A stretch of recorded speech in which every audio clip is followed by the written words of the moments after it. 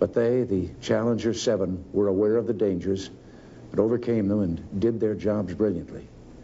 We mourn seven heroes Michael Smith, Dick Scobee, Judith Resnik, Ronald McNair, Ellison Onizuka, Gregory Jarvis, and Christa McAuliffe.